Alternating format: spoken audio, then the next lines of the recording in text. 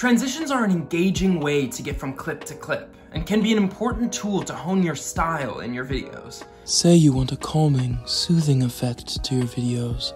Or you want to pack an action-packed punch.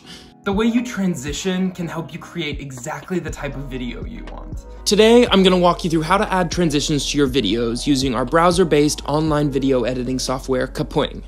We'll explore classic transitions as well as unique transitions in Kapwing's huge new transition library. Let's get started. The first thing you're going to need to do is upload your files into Kapwing. To do this, go ahead and click on the link down here in the bio. Once you're here, you can click Start Editing and you will see these options. If you're on your computer, you can drag your clips from your desktop, or you can upload videos straight from a URL link, which is a really cool feature since Kapwing is browser-based and not downloadable. Once you've done that, you will see a page with all your videos laid out in your timeline. Now you can hover over the ends of each clip and click and drag the ends to trim them to be exactly the length you want them. If you need more help trimming, make sure you check out our video on trimming here. And if not, once everything is trimmed, it is time to start exploring your transitions library. To get to the transition library, go ahead and move your mouse over to the left side of your screen and you will see these tools. Go ahead and click transitions. Once you're here, you will see a full list of Kapwing's transitions. We're going to get into a few of those specifically, but to use any of these transitions, you can hover over the squares to preview what they look like, click and drag the ones you want to use between two videos, and it will automatically apply to the touching ends of those videos. There's also a smaller list of single-sided transitions in case you want to apply a transition to just the beginning or end of a single video, but in most cases you will probably use standard transitions. All right, now let's dive deeper into some individual transitions. Kapwing just added a ton of really cool new transitions that I'm super excited to show you, but first, let's start with some classic transitions. By far the most used transition you will see in video editing is the cross dissolve. Cross dissolve is a gentle transition that looks like this, it is a great one. It is really inconspicuous, but flows super easily into the next clip.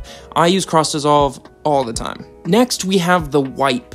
On Kapwing, you have several choices actually of which direction you want the wipe to go, but essentially it will wipe from one side of the screen to the other like this.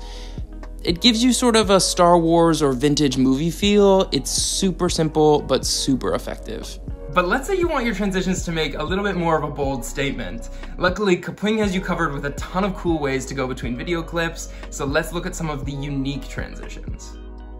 The first one I really like is color distance.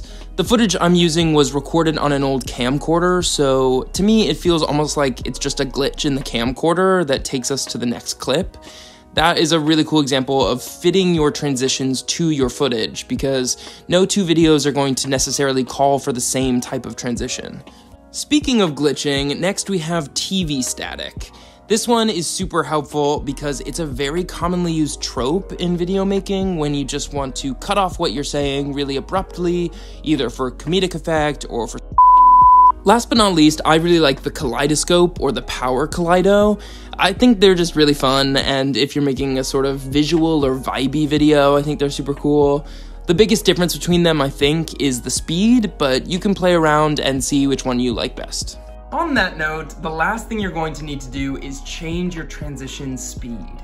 To do this, all you need to do is click on your transition. It should appear as a black square with two triangles inside it, and go over to the right column where it will say transition speed.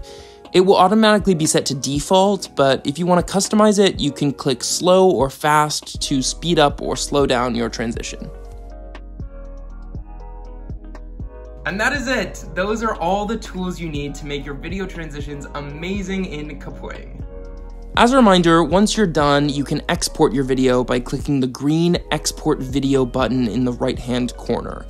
You will be taken to a page like this where you will see the video process, and when that's done, you can click download file and it will download straight onto your device. Thank you so much for watching. If you liked this video, please give it a like and let us know down in the comments below if you have any thoughts or questions or video ideas for us to make in the future. Make sure you are subscribed. We put out videos every week on how to level up your storytelling by creating amazing videos. Thank you for watching and happy editing.